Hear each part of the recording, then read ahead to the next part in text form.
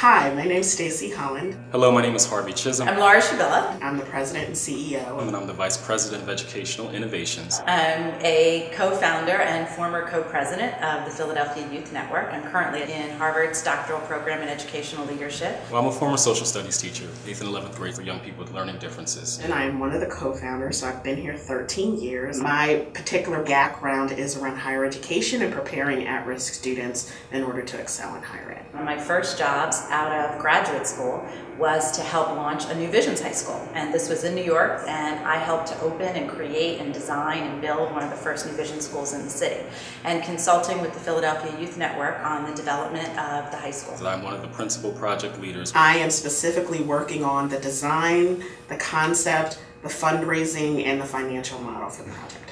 It's a high school that's for young people who have been off track and haven't been successful in our traditional high school system. And it's going to help them really connect technology, real world experiences with their own passions and help kids see themselves in college from the day they start high school. This school looks specifically at literacy interventions and strategies for young people that which we see has been a recurring need and challenge to really thinking about how do you start to support blended learning as a strategy. By running Work Ready Philadelphia and having connections with employers and colleges all over the city, it also gives us a huge advantage in terms of bringing structural partnerships to the design of the school. We had 52,000 16 to 24 year olds who weren't in school and weren't employed.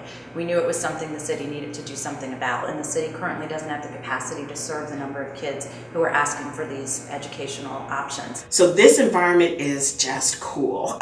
the kids are going to want to be there, the staff are going to want to be there, and more importantly that the kids are going to show the level of outcome that we know that they can achieve.